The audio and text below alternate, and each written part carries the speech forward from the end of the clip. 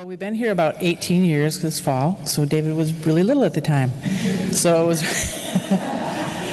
when we first came, we were church shopping and everything, and so it was one of our very first times here, and we kind of sat back there anyway because we wanted to be able to dash out if we had to. And when the announcements came, they talked about there was a church picnic, and David said, Hey, we should go to that. I said, We don't know anyone. He goes, Isn't that the point? So. So because of him, we, of course, went to the picnic.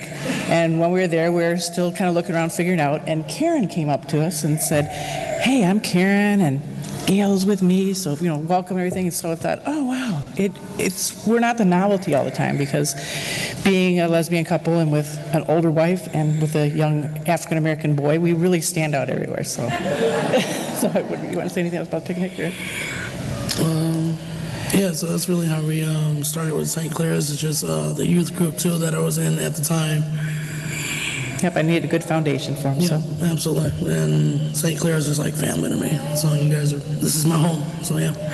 Even when we thought about moving one time, his first question was, "But where would we go to church?" I'm like, "Oh my gosh!" I'm thinking of practical things like where, what kind of doctor and what you know. so that's our story. So.